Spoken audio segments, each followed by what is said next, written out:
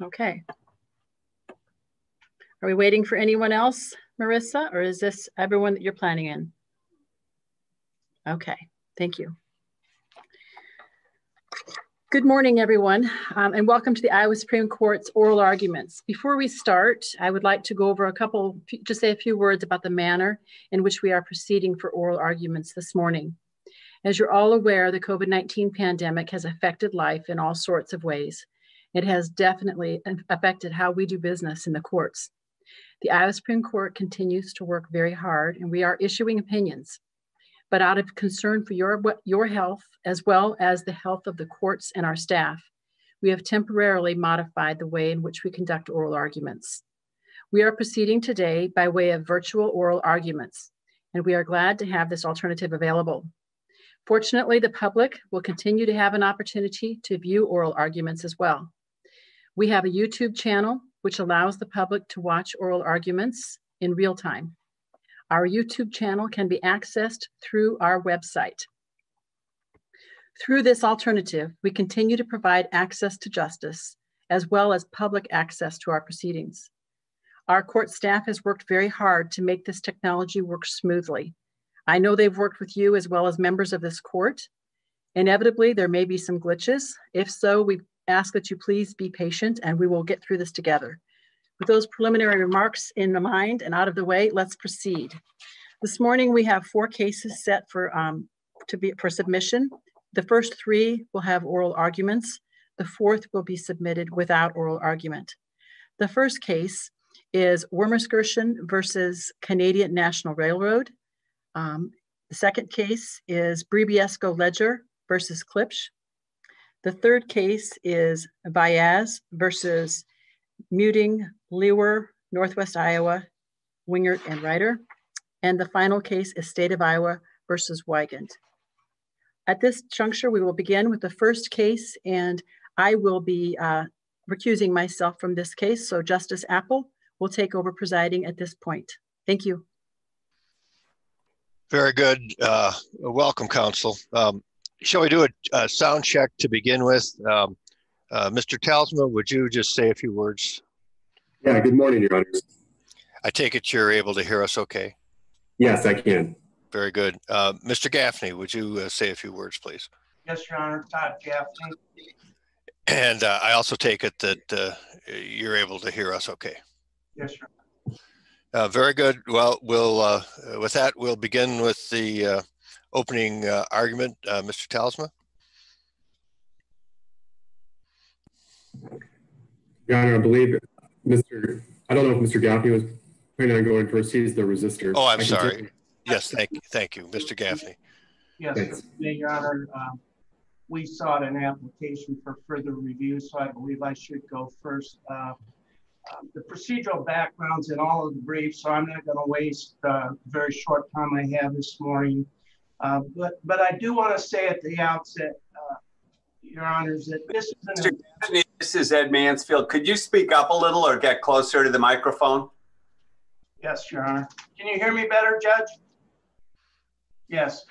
Uh, I was saying this is a very important case that um, if the court allows the Court of Appeal, Appeal decision to stand, it's going to affect the operations of all railroads in Iowa, not just my client, but all railroads in Iowa, and it will create an undue burden on interstate commerce.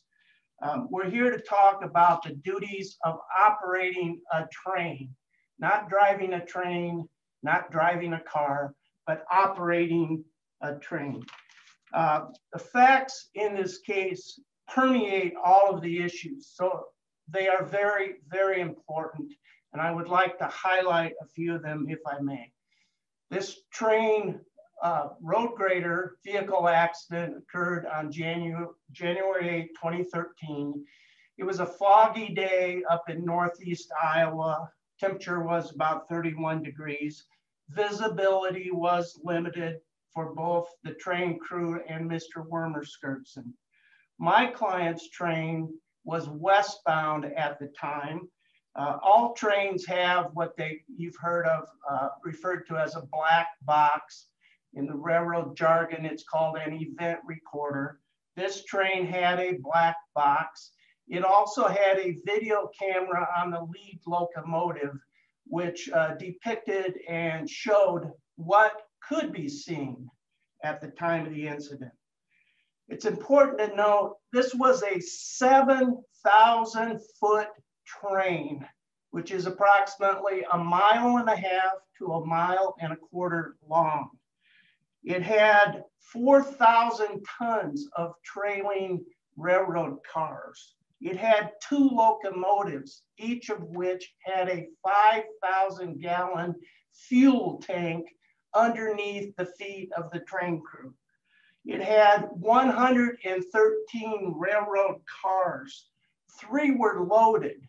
The sixth car behind the train crew was a uh, tank car, which was loaded with flammable liquid.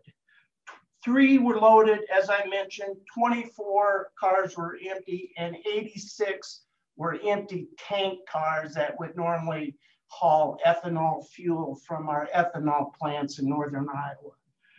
The event recorder, the black box, shows prior to this incident, the train was traveling at 46 to 47 miles per hour. The Secretary of Transportation had determined that for this class of track at that location, the speed limit was 60 miles per hour. So this train, moments before this incident, was 13 miles per hour below the federal regulations. The uh, train has eight notches that the uh, engineer can use to control its operation. It controls the speed, the braking, etc. The black box shows that before this accident, the train engineer had the uh, throttle in the fourth position, but moments before, he moved it to idle. He shut the throttle off moments before this accident. The train was traveling at 70 feet per second. The locomotives, there were two of them, each had 12 steel wheels. They call those trunks. The 113 trailing cars each had four wheels. So we're talking over approximately 900 steel wheels on a steel rail as this train approached the crossing. Needless to say, it was lumbering and rumbling towards this crossing. Uh, it was nonetheless noisy. And I, I note the Supreme Court building sits right above railroad tracks. I'm certain the court understands how noisy trains can be, how noisy their whistles and horns can be. The lead locomotive had two headlights producing 200,000 candela which my understanding is that's approximately five to 10 times brighter than a motor vehicle headlight.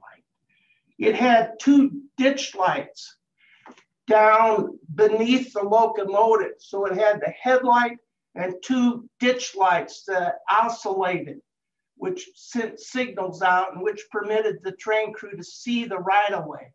But you had that distinctive triangle from the lead locomotive that they sometimes talk about. The event recorder shows the bell was ringing.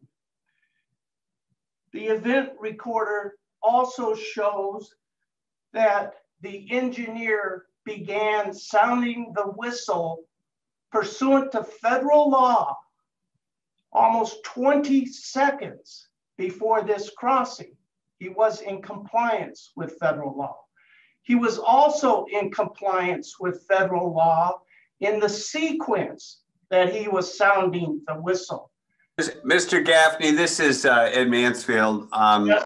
Let me, if you don't mind, let me interrupt the, the narrative a little bit now. Um, as I read uh, the Court of Appeals opinion, and I want you to let me know if I'm reading it the same way you do or not as I read the Court of Appeals opinion, they basically agree with you that the claims relating to the speed of the locomotive are preempted by federal law, but they find an issue of fact on what the crew could or should have done when the grader became visible. Is, am I, is that correct? Well, yes, Your Honor, you aren't correct. I think what the Court of Appeals first, they did not find under um, the, the, federal regulations, there is federal speed preemption. Um, uh, if footnote 15 of Easterwood, if you've read uh, the decision in the briefs, federal uh, footnote 15 says the train crew has a duty to slow or stop for a specific uh, individual hazard. Court of Appeals didn't go there. Court of Appeals, in my opinion, got off track. Uh, again, as I stated, they, they in page 13, the first 13 pages, I would pretty much agree with, Your Honor. They talked about federal preemption and the uniformity that we want, that the Secretary of Transportation can enact rules, horn, whistle, uh, uh, hours of operation, etc. Uh, but then at page 13, uh, they got off track. And immediately, the very first thing they state under proper lookout, Your Honor, is in the context of the motoring public, the duty to maintain a proper lookout, etc. The law imposes a duty on motorists to proceed with such care under the existing conditions known or should have been known. So, in the the, the Bakhuyzen case that the plaintiffs rely upon, which is the only case they can rely upon in the, the face of overwhelming uh, majority opposite of that case, this Bakhuyzen court, who, curiously, the judge's name was Bell, Judge Bell um, fell into this uh, derailment, if you will, fell off track and went right to the duties of a motorist motor vehicle uh, operator. And then and then said um, um, that that uh, if I can find my case here that weather comes and goes it arises and abates. And we all know that weather in Iowa doesn't arise and abate at individual. Okay, I, I, I understand what you're saying, but I, I read page 13 a little bit differently. I see the argument here as uh, that the as a failure to keep a, a lookout that if there with respect to this particular hazard at this particular crossing if the crew had kept a proper look, lookout the court of appeals hypothesizes they would have been able to stop the train in time, even if it was going 46 to 47 miles an hour. Is it your view that under the undisputed facts, that would not have been possible? Yes, Your Honor. I think it's absolutely clear, and Judge Fangman was absolutely correct, that the undisputed evidence, even plaintiff's own experts that says there wasn't time to stop this train in six seconds. The video shows six seconds when this uh, uh, road grader came into view, our expert says that even putting the train in the emergency immediate, instantaneously, the speed would have only changed by one mile per hour. And the train would have arrived at exactly the same time. So as I said at the, the opening, causation permeates all of these issues in the case. It permeates lookout, it permeates train speed. There was nothing this train crew could do at the time. And, and the biggest question I have in this case is the claim the railroad failed to maintain a proper lookout. And the Court of Appeals disagreed with that, said there's a fact question. Well, I say, and I want to ask, what did they do improper? There is nothing they did improper. They they saw the train when they could see it. They saw it at six seconds. They testified to that. They, they had, uh, if you want to talk the horn real quick, they had sounded the whistle, the bell 400 times that morning. They tested it, blew the whistle at their terminal inspection, and then as they headed from uh, Dubuque towards Waterloo, they went through 100 crossings. And at each crossing, they were required by federal law, and the event recorder shows it, they blew four times. Two longs, a short, and a long. Four times 100 crossing is 400 times they blew that whistle that morning. Furthermore, that whistle had passed, passed an FRA mandated decibel test. It was within 96 to 110 decibels when tested. And the facts, the train, the fact the train crew blew it 400 times said there was nothing wrong with the whistle. The sound was as if it. Counsel, uh, We've often said we've often said that uh, a causation is is a poor issue to be decided by summary judgment. Is there any room in this record for a, for a jury to conclude if they had hit the brakes right away, the reduction in speed might have led to um, less of an injury? Is that a jury question or or not on this record? Your Honor, I believe on this record, it is not a jury question, and my answer is based on their own expert. He says there was nothing the train crew could do to avoid this accident at 47 miles per hour. It's also based on my expert analysis by Foster Peterson. He's an expert in train operations. He's an expert in reading, interpreting black boxes and he and stopping distances. He cleared this train stopped once it was dumped or placed into emergency. It took it 1,600 feet to stop. It's traveling at 70 feet per second. There's nothing this train crew could have done. They would have had to place it in emergency back at the so-called whistle post where he started blowing 20 seconds earlier.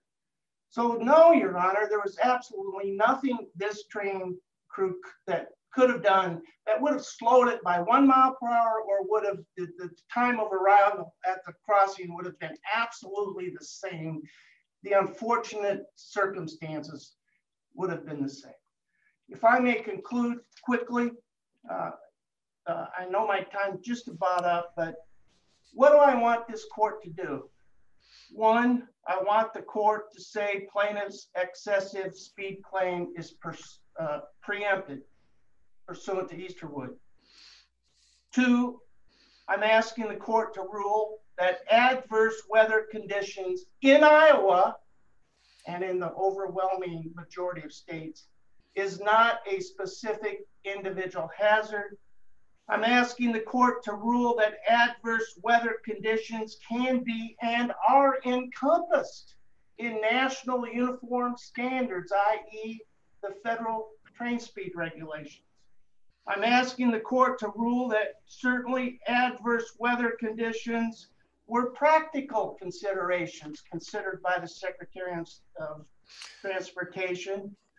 And indeed, I'm asking the court and this is very important, to tell all railroads which operate in Iowa that when they enter the state of Iowa, they will not be faced with Mr. Gaffney, you need to conclude, please. Rules, and their commerce will flow freely and not burdened by the rules set by the state of Iowa. Thank you very much.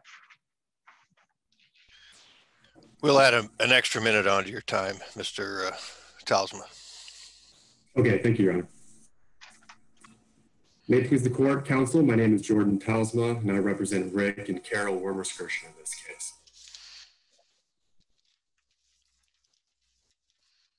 Mr. Gaffney got into these a little bit, but I want to just say that on January 28, 2013, Rick Wermerskirchen was operating his road grader as part of his employment with Black Hawk County when he was struck by a Chicago Central and Pacific freight train at a gravel road crossing. We filed an action for negligence, including claims for failure to maintain a proper lookout, failure of the train crew to slow or stop the train to avoid the collision, and several claims regarding the train's horn.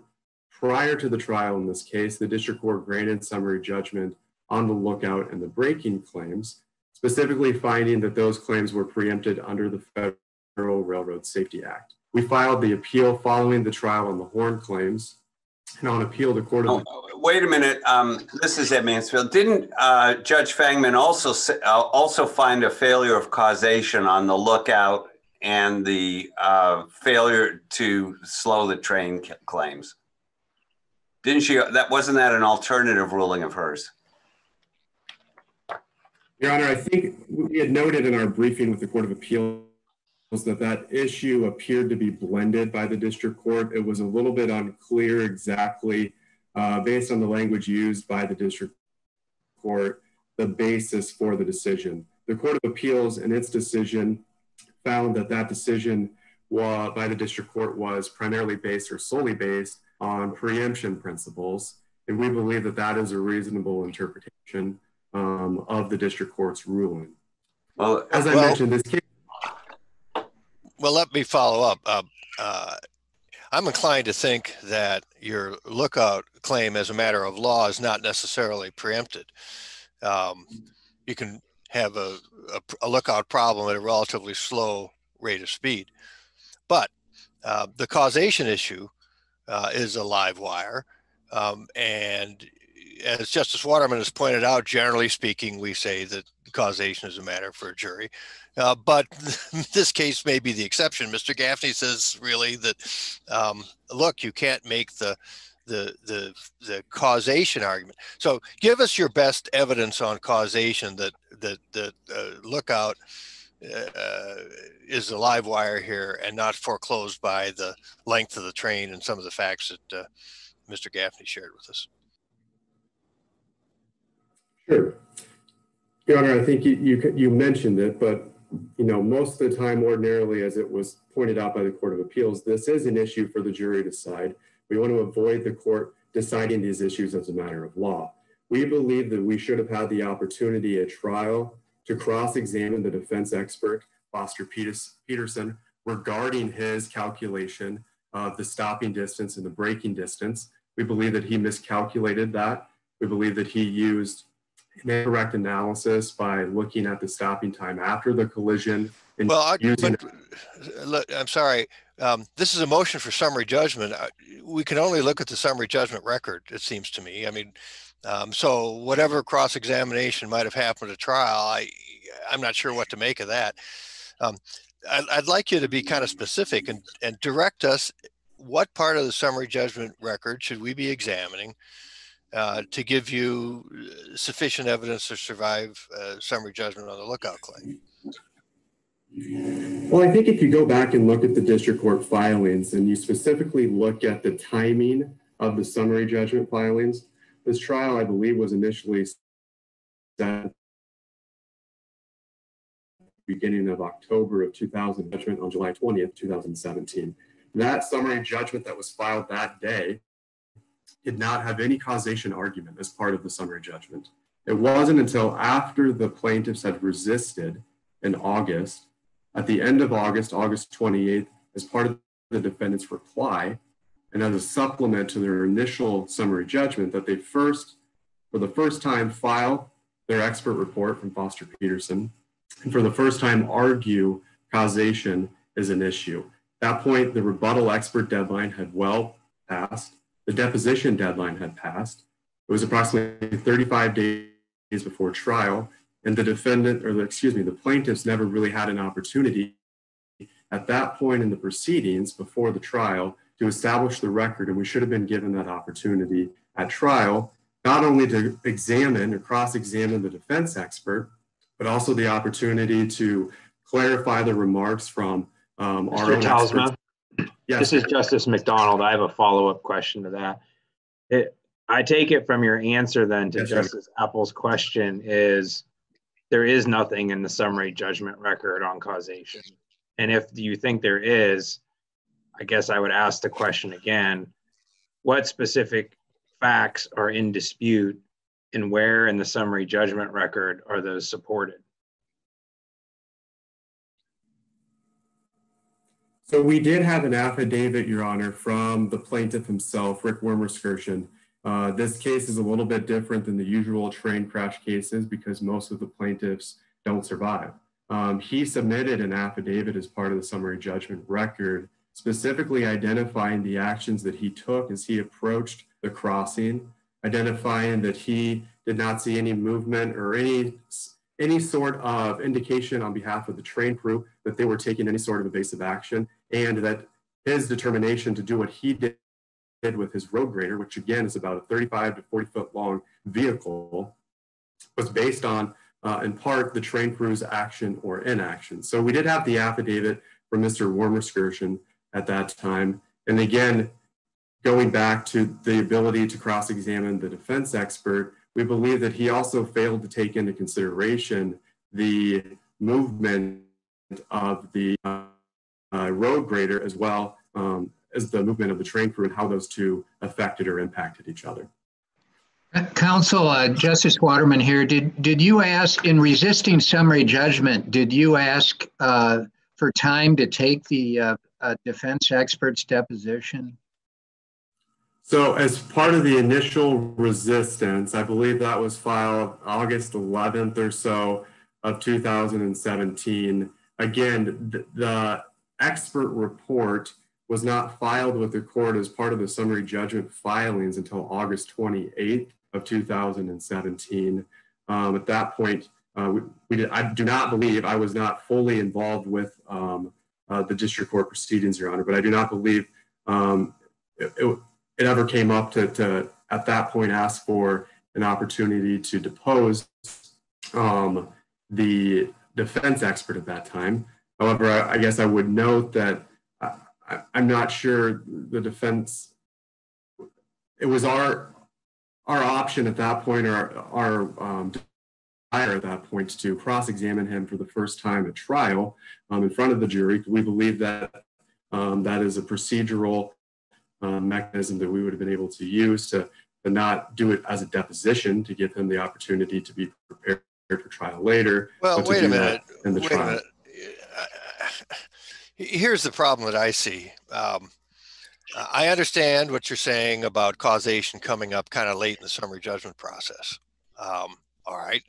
Uh, but our rules allow for um, additional discovery if you want additional discovery. Um, it seems to me the time to object to the to the late late emergence of causation was when the summary judgment motion was pending. It looks like you stood on the record, um, um including the record of your own expert, which um, is not necessarily all that helpful as far as I can tell. I mean, aren't I mean, I, I, let me put it to you point blank. It seems to me, um, to the extent you, you're complaining about lateness of the hour and so forth, that issue may not be preserved. Yeah, so Your Honor, I understand. I understand the point and certainly the questions. Um, I do want to make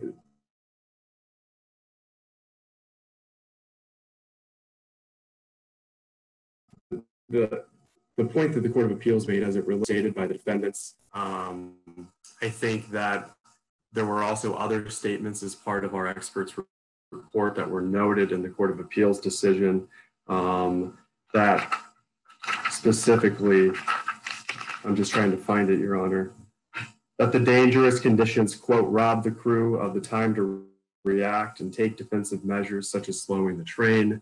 Um, so I think that there were other comments within that report um, and again, we should have the opportunity to clarify that with um, with our expert at trial. But uh, one more point, if I could ask about the procedural um, situation, Mr. Talsma. Um, isn't it true the trial was may have been originally scheduled in 2017, but it got pushed back like a year, right? So after this summary judgment ruling, the defendant actually came back and made another effort to get summary judgment on the Horn claims, and nothing would have prevented you from, you know, taking a crack at overturning the ruling on the on the lookout claims, right? Yeah, I, I guess to that point, Your Honor, it would be the Court of Appeals, or excuse me, the district court at that time had already um, granted summary judgment um, regarding those claims. We believe that those claims were um, taken off the table essentially. We did file an application for an interlocutory uh, review to the Supreme Court. That was denied. Um, so at that point, you know, I, th I, think the decision was to simply move forward based on the claims that were left, which were of course the Horn claims, um, and that and that's you know that's what we ended up doing. I do want to make a point as it relates back to the preemption issue. And, and you got a trial on the Horn claims. I understand there's some trial issues, but those went to the jury, right?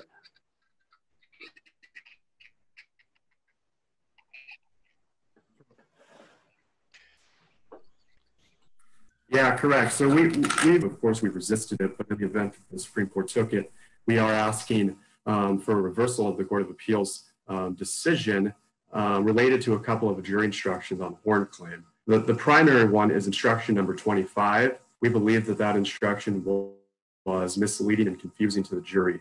That instruction deals with the federal horn audibility requirements, uh, specifically 49 CFR 229.129, which deals with uh, railroads' duties to make sure that the train horn is sounding uh, the correct decibel level, between 96 and 110 decibels. We believe that that is an ongoing, continued obligation of the train crew and the railroad. Um, and we had asked the district court to include uh, language at the end of that jury instruction to make that uh, known to the jury, specifically the language at the time of the accident, the horn needed to be operating at that sound level. That language was not added by the district court. We believe that then gives the jury basically the insinuation that, well, because the train horn had been tested in May of 2010, uh, three years before this crash, and at that time it sounded between 96 and 110, that that meant basically that it was operating in that manner on the date of this collision. We do not think that that is the proper um, uh, way that that should be interpreted. And we cited the case of Hughes versus Union Pacific, which is a 2017 case out of the Western District of Missouri in support of that proposition. And we believe that it was error for the district court not to include that language um, as it relates to, to that jury instruction and the Horn claim, Your Honor. For the proper lookout, I do want to mention that real quick. The Court of Appeals opinion um, on page 13, you know, the second paragraph right underneath of that, it says, by the same token, train crews have a general duty to keep a proper look lookout for motorists approaching a crossing. That statement is consistent with existing Iowa law. There's the Hoyt case from this court in 1973, which found that a train crew has a duty to keep a proper lookout. The Garcia case from 2013 with the Court of Appeals found that both a motorist and a train crew have a duty to keep a proper lookout. Now, the issue in those two cases, Hoyt and Garcia, was that the lookout claim never went in front of the jury because the evidence in the, those cases were clear that the train crew had been keeping a proper lookout. Despite Mr. Gaffney's assertions this morning, there's absolutely no evidence in this record that the train crew was keeping a proper lookout. In fact, the only evidence in the record shows that they threw themselves on the ground immediately before the collision, that they didn't break until 10 seconds after the collision. There were no affidavits in the summary judgment um, filings from the train crew about what they did to see um, what the road grader was doing as it approached um, the crossing. I, I, um, I agree with you, Mr. Talsma, that as to whether the crew is negligent or not, that would be hard to resolve as a matter of law. But on causation, uh, we've all, I think, looked at the video from taken from the front of the train of the that front locomotive that's in the record. And would you agree with me? It it's pretty much impossible to see the grader till about seven seconds before the collision. Well, I, I think an interesting point on that is yes, I, I think from the video and what the video actually shows, um, it, it's about six or seven. Really, what the train crew could have seen, though, a train crew crew's vision, um, no evidence showing what the train crew did. Um, and we never had the opportunity, or they never submitted any evidence saying that they were looking left and right and straight ahead and they could see um, beyond what was shown on the event recorder. So, Your I see that I'm almost out of time. We would ask that uh, this court affirmed the Court of Appeals decision as it relates to the preemption issues, causation, and to reverse the decision as it relates to the Horn claims, and ultimately remand this case back to trial on all of the claims. Thank you. Very good. Uh, thank you very much, Mr. Talsma. Uh, Mr. Gaffney, uh, uh, rebuttal.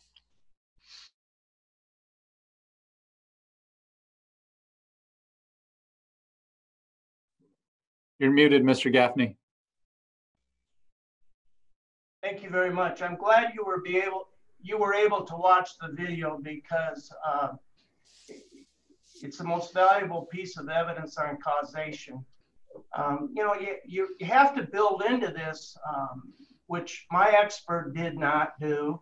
I think all of his are, are his opinions are excluding perception and reaction time.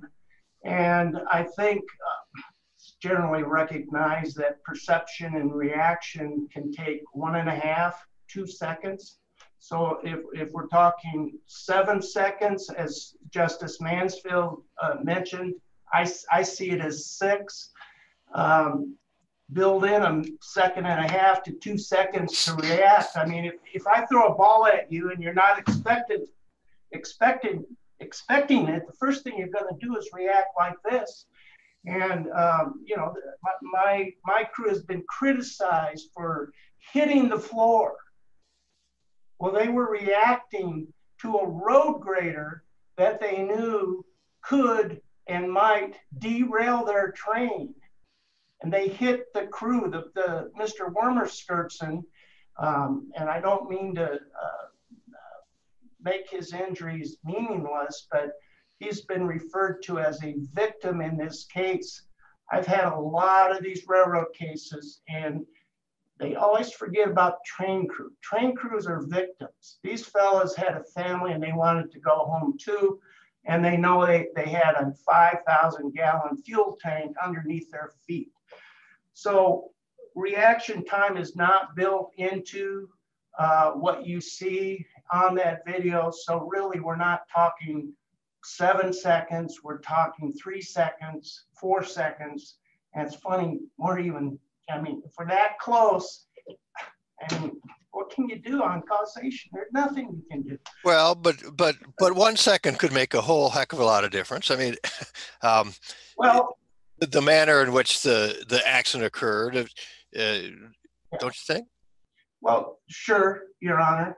But my expert who analyzed it, and and you know the plaintiff had an expert on the horn. He could have also analyzed it.